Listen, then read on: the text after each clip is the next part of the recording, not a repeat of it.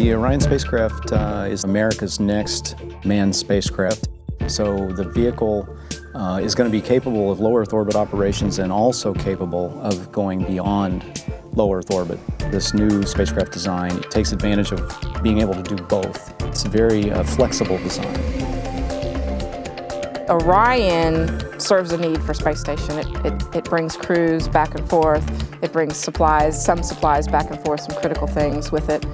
But the missions to space stations serve a big purpose for Orion as well. It's, it's you don't want to take the new car out on the long duration road trip the first time out. So from a strictly Orion perspective, we get a lot of benefit from these near Earth, low Earth orbit missions to try out the spacecraft.